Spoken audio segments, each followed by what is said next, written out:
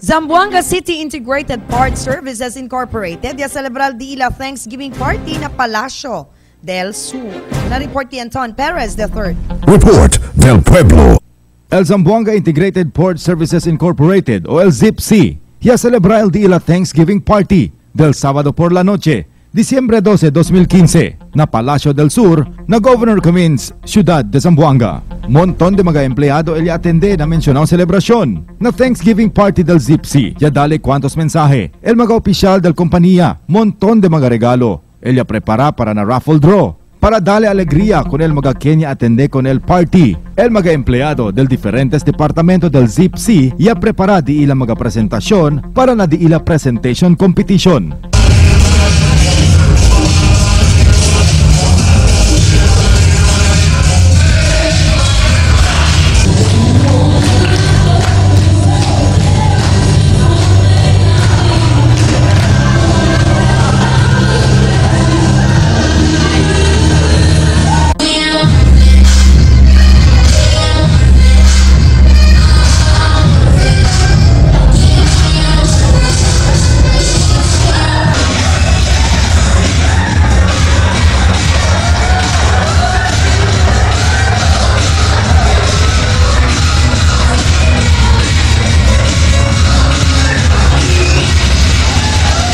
Después de la presentación del mga diferentes departamento, ya tiene también raffle draw, donde montón de regalo. Ella dale con el mga ganador y con el mga otro empleado.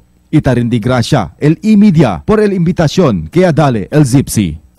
Desde aquí na Palacio del Sur, aquí na Governor Cummins, Anton Perez III, Iwara 5.9 News FM, imidya mo. Report del Pueblo.